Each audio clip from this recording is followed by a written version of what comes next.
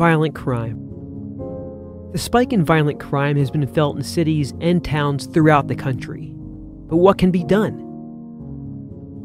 On this episode of Inside the FBI, Michael Kolstad sits down with FBI Executive Assistant Director Brian Turner to talk about the violent crime, why it's on an increase, and what the FBI is doing about it. I'm Steve Lewis, and this is Inside the FBI. Today's Inside the FBI podcast, we're talking violent crime, and we've invited Brian Turner to be a part of that discussion. Mr. Turner is the FBI's Executive Assistant Director for the Bureau's Criminal Cyber Response and Services Branch. He's now approaching 20 years with the FBI, starting in Philadelphia doing violent crime and white collar work. He's had a number of positions since then, and we'll talk about those today. Also, a veteran of the U.S. Army and a graduate of West Point. Mr. Turner, welcome to the podcast. Thanks for having me today, Mike. Before we get started in talking, tell us a little bit about yourself and your background and how you got to where you are and what your job is at the FBI. Okay, well, I'm born and raised in Chicago, Illinois. I left there in 86 to join the Army. While I was in the Army, enlisted, I had an opportunity to go to West Point, and that's where I went and completed my collegiate studies. I served in the Army for about 10 years. On the tail end of those 10 years, I was serving as faculty at West Point which I had the opportunity to meet a reservist who was an FBI agent and got me interested in the FBI. I started the application process in 99 and was able to join the FBI in April of 2002. Okay, almost yeah. 20 years then. Almost 20 years. We're talking violent crime today, and that's something that affects everyone, no matter the country, what part of the country you are, neighborhoods, states, doesn't really matter. There was a report that came out in, uh, I think it was September. It was called Crime in the United States in 2020. And it had some interesting things. It, for the first time in about four years, it estimated that the number of violent crimes increased when compared to the previous year. Violent crime up about 5.6%, while property crime declined a little bit. But I think the biggest takeaway was the number of murders in the U.S. that jumped by about 30% in 2020 compared to the previous year. Let's talk about numbers and what do those numbers tell you and what do you see from your desk and what concerns you? Well, Mike, what I'd like to do first of all is put a little bit of context on answering this mm-hmm. question. First, you know, as I mentioned, I'm from Chicago. I was born and raised in the uh, inner city on the south side. And one recollection that I have as I kind of think about your question is my upbringing in that part of the city. This was in the late 70s, early 80s, where gang activity was rampant people were shot and killed. And as a kid, going to school, trying to play outside like every other kid, those factors were always out there when I went out to decide what I was going to do during that day. As I think about these numbers, those kind of come back to have a personal attachment to myself because it sometimes shoots me back to those days and it gives me a little bit of empathy, maybe a, significant amount of empathy for all of those citizens out there that are living in fear of these numbers. Now, that being said, to kind of explain some of the numbers, you know, like a lot of things that we're dealing with today, there has been some impact from COVID, right? You know, there's some COVID related impacts on this. To name a few, you know, a lot of folks have not been going to work for a significant amount of time. And with that, you know, there's a, you know, a thought pattern out there that has contributed to it. People are at home, they have more time to do things and they kind of breathes the ground for potential criminal activity. Additionally, the COVID phenomenon has actually hit our court system pretty well too, mm-hmm. at the state, local, and federal levels. And consequently, there have been a lot of backlogs. There have been a lot of suspensions of court proceedings. Consequently, people who are violent offenders, while they're waiting their time to go in court, potentially are out there in the street mm-hmm. available mm-hmm. to commit more acts of violence. And then lastly, you know, with that particular piece, early releases and more juveniles who are not going to school because COVID limited the more time at uh, home. More time at home. So you have all these folks, these impressionable young people who are maybe prone to being sucked into the criminal dynamic. You just have more actors out there that are contributing to this increased rate. Secondly, there's a challenge out there that we have been undertaking since last year with, with the violent protests on the other side of the George Floyd uh, protest the brand of law enforcement in the United States has been a challenge for some time. And what I mean by that is giving law enforcement agencies, to include state, local, federal agencies such as the FBI, an ability to effectively recruit and hire quality candidates. Those numbers have been impacted by some of these challenges that I just mentioned to you. But that being said, it doesn't mean that we're going to walk away from addressing violent crime. One of the things I want to, you know, really push to you is the importance of working together. Mm-hmm. Working together not only within the law enforcement community, with local leadership, elected officials, but also the community. We're really going to have to put more of an emphasis on that to compensate for some of these issues that I just mentioned. So, broad brushstroke of sort of the way you see the problem. At your desk at FBI headquarters, which is obviously certainly a long way away from the streets of Southside Chicago, yes. what do you see on a daily basis? What keeps you up at night, as the phrase is? What concerns you? Well, there are a lot of factors out there, Mike, that we have identified to contribute to violent crime. To name a few, gangs and gang rivalries that exist throughout the country. And it's not just contrary to popular belief, not just within cities. There's a lot of that gang violence that exists in rural areas of the United States. Is that getting worse? Is it getting better, or is it just changing? It's just changing. I think, you know, something to be said. A lot of violent offenders, gang members. I remember a practice that took place when I was a child in Chicago. If you were a known gang member and rival gang members coming after you, your family usually sent you to the South to get away from places like Chicago and Detroit. Well, if that practice happens by more and more families over time, then those folks are going to go to rural areas and continue to do what they've been doing. And I think that's one of the things that we have to contend with. We still have the existence of organized, you know, criminal entities. You know, it could be, you know, Italian organized crime, it could be outlaw motorcycle gangs. These entities contribute to you know, actors that may go out and commit acts of violence on behalf of their criminal priorities. Thirdly, human trafficking. People have dismissed this as, you know, pimps out on the street, but it's more than that. It's actually a huge money maker, and criminals have used violent means to protect the money that is generated by, you know, that type of criminal activity. Last but not least is the access to guns. Okay. Access to firearms across the board has been a lot easier, as it probably always has been in that regard. So those are the things that we have that concern me. But with that, you know, we're seeing an increase of shootings. I don't want to say mass shootings because mass shootings can be attributed to different types of reasons, but mm-hmm. just shootings in general. When you look at the high amount, a number of homicides that take place in cities like Chicago, you have acts of violence that are driven by, you know, crimes against children or hate crimes. And recently, a number of these violent acts have been committed basically by, you know, individuals just having a disagreement and it manifests in the workplace or it manifests in the school setting. So as before, if you and I had a disagreement and you know would duke it out outside, folks now have an access to a firearm and it escalates that. Correct. Correct. So if a, you, you know you said going back in the day when we were younger, you know you get in a fist fight, you lose, you figure it out. But you know some young people or other people or even short of that, something that can even affect any of us. You driving to work one day mm-hmm. and you get a, a, degree of road rage. We've had road rage incidences that have taken place and resulted in shooting. So it is hitting all aspects of our life. And then also people have gotten, you know, quickly upset over social media. You have a social media exchange and you feel like someone's disrespected you. Again, there have been acts of violence attributed to those exchanges. So you asked me what keeps me up at night, right? And so if this problem becomes so pervasive and so intertwined with our society. Mm-hmm. There's a ripple effect that takes place. And one of those ripple effects is that if a gang entity that is unchecked in a rural part of the United States or an urban setting, those law abiding citizens, you know, who are in those communities that are just trying to go to the store and shop, let their kids play in the parks that they have in the community, go to the swimming pool, they're going to be hesitant because if there's rampant shooting on the streets, which has happened, mm-hmm. and innocent people have been shot, then those folks are going to tend to not go out, shop. They're not going to have their kids playing out, and then those communities are going to ultimately suffer. Having an impact like that on a community similar to the one I grew up in does keep me up at night.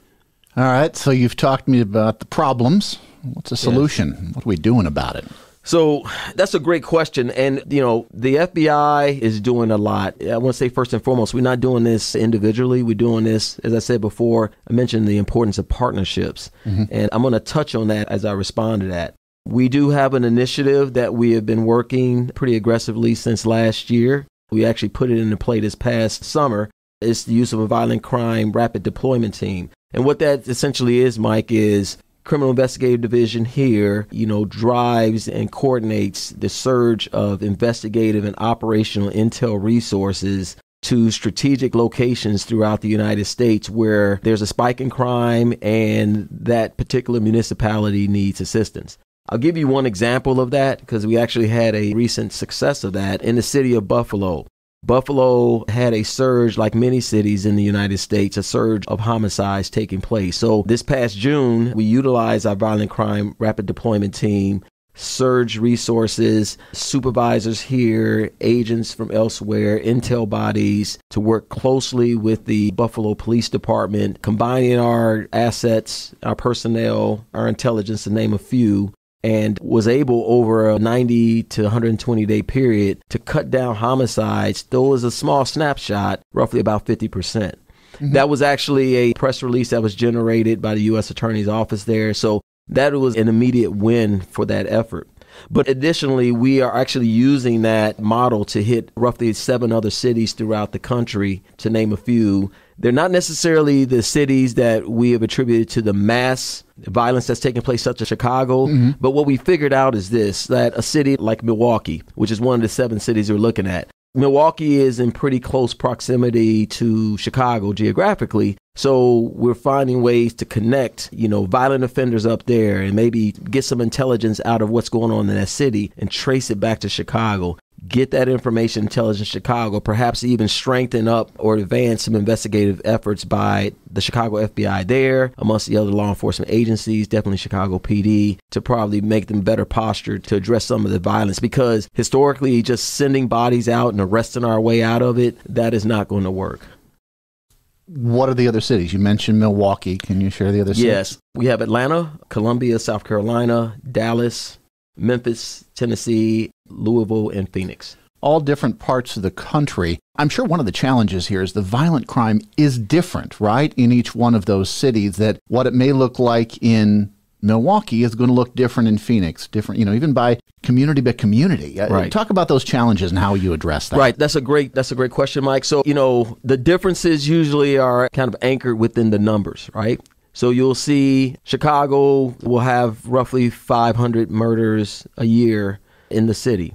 You compare that to a city nearby like Indianapolis that may have historically had, let's say, for example, 20 murders, but then this particular time frame they shot up to 40 murders. Mm-hmm.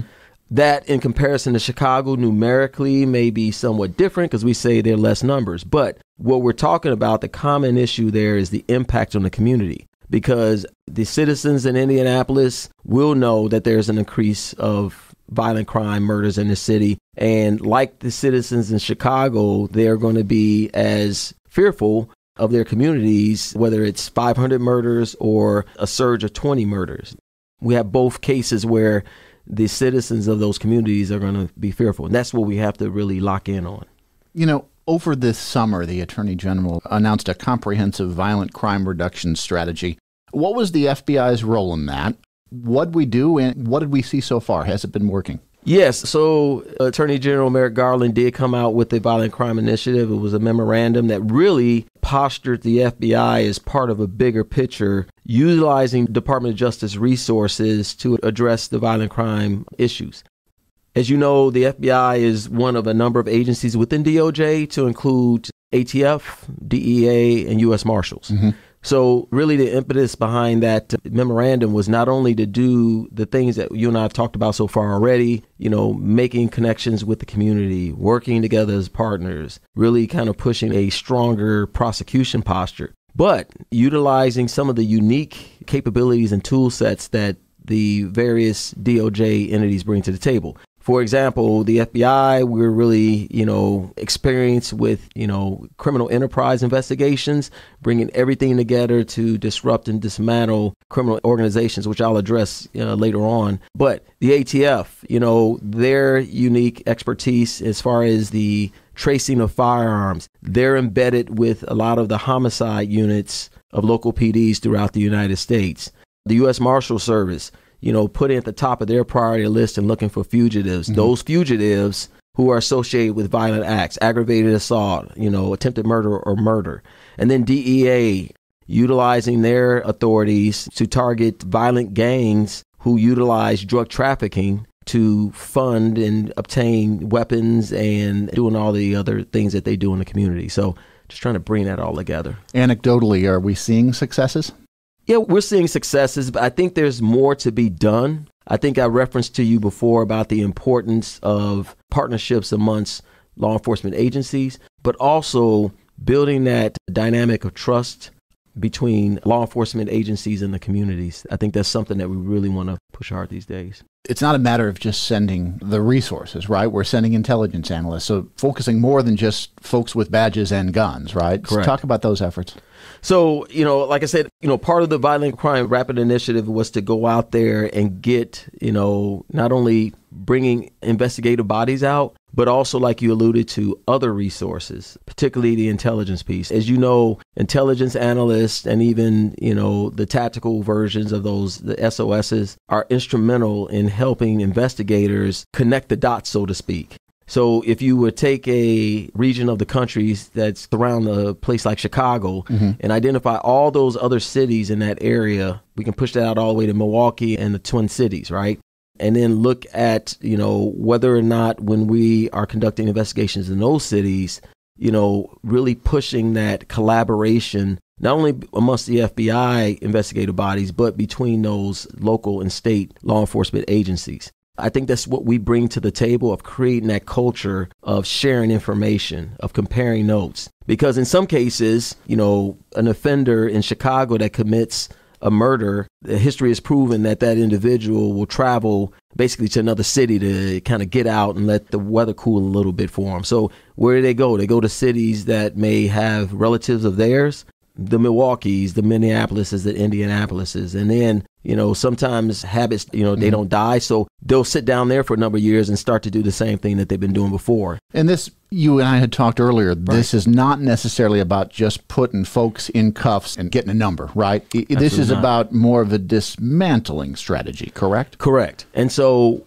you know, that was one of the. I want to make another reference back to the Attorney General's violent crime reduction strategy because part of that is also to make sure that our federal prosecutors who bring stiffer sentencing penalties to the table are part of that effort. That we're building the strongest cases that will allow us to get these violent offenders first and foremost, going back to what you said before with the Intel folks, our Intel resources that we bring to the table and work with our counterparts in those other agencies will help us quickly identify who those most violent offenders are, right? Mm-hmm. Who are the ones that are not only shooting, but who are the ones that are actually out there providing those guns? Are there straw purchasers out there? In other words, people who are using their name to purchase a gun for a known criminal who by law is not allowed to have one. So that's the approach that we're taking when we bring these cases, you know, to the prosecutors. But the disruption and dismantlement piece, I want to kind of hit on that. So just to clarify for those people who don't know the difference between the two. So when we disrupt a criminal entity, so let's say we know that a drug gang is use a known stash house to store drugs and guns in there, and we target that house. We go in there, we get the probable cause, we swear out a search warrant, we execute the search warrant. It's done safely, right? And then once we execute that warrant, we found a bunch of drugs and bunch of guns. Okay. Well, the impact on that is not just a seizure, but it has had a negative impact on that gang because now, because they've lost use of those drugs and guns, they don't have the ability to make the money that they were trying to make. They don't have the ability to commit acts of violence that they plan on doing that. So now they have to reinvent themselves. They have to do a reset. So that's what a disruption would be. Now, the optimal thing for all of us, the goal would be that of uh, dismantlement, where we target the key leaders through use of our intel folks. We identify those key leaders in which that criminal entity operates around, and we target them. And when we target them, we build the case against them. And once that case is so strong and we execute those arrest warrants, and maybe even any related search warrants that will help strengthen the evidence against them, we're postured to put them away for a long time. And because of that, and those key leaders are out of the pocket, more likely than not, that criminal entity is now going to be dismantled because they have their rudderless ship. And what we know of that criminal enterprise or that gang or that criminal entity is no more.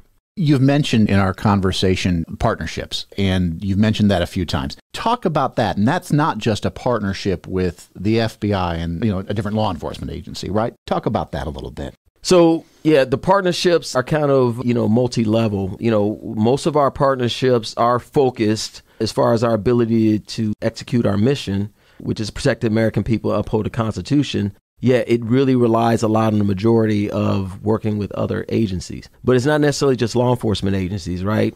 It's the relationships, it's how effective the FBI is able to push its brand out to the public. Because, you know, first and foremost, we cannot do our job as a law enforcement agency without the trust and support of the American people. Because they're the ones who have the most set of eyes. They're the ones that are going to see those things that we cannot see some of our braver citizens are going to come up and even assist in that, providing us that information, giving us that insight to help us point us in the right direction to either confirm something to be the case or not. And then also building a relationship with community leaders, right?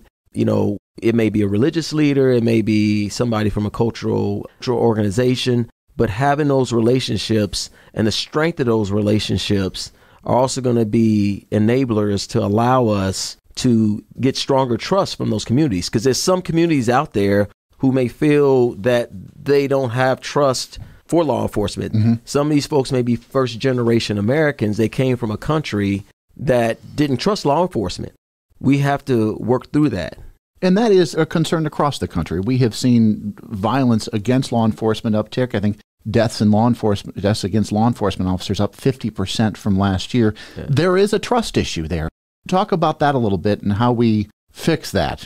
Yeah, that's a great question, Mike. I know it's high on our radar screen as a law enforcement community to be aware of that. I guess, you know, the backdrop on that is, you know, at the state, local, and federal level, there has been an uptick of violent acts, fatal shootings of law enforcement officers who were swearing out, you know, search warrants or executing search warrants or executing arrest warrants. Or for those uniform officers out there executing, you know, vehicle stops that may even be supporting existing FBI investigations, to name a few, that puts them in harm's way. And so we must be wary of that in ensuring that when we are going out to execute those type of operations, that every measure is taken in place to make sure we're mitigating those threats. But it is something that is more prevalent than it has been in the past in the time we have left, uh, yes. we've talked about the problem, we've talked about what we're doing, and now I guess look in the future. What does success look like? What do you hope the picture looks like in the next six months, in the next year? Talk about that.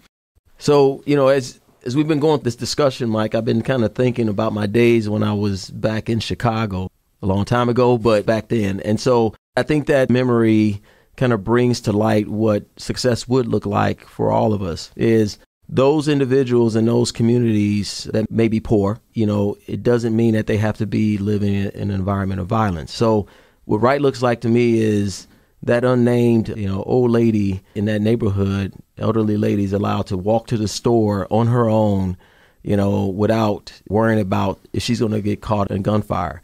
That a single mom in that same community is able to take her kids and drop them off at the local park while she goes down the street to run a few errands that a young man who has aspirations of getting out of his situation is going to go and play basketball to the best of his ability because that may be the way for him to get a scholarship in college. If we're able to allow those three entities to do that, that would be definitely success for us on all fronts. A conversation to be continued, and we'd love to invite you back. Uh, Absolutely. Uh, Brian Turner, thanks for the time. Thank you, Mike. Have a good day. Our thanks to Executive Assistant Director Brian Turner for sitting down with us. If you'd like to know more about the FBI's effort to fight violent crime, visit fbi.gov slash violent.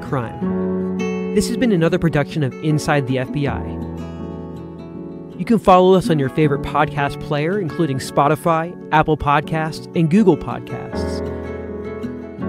You can also subscribe to email alerts about new episodes at fbi.gov slash podcasts.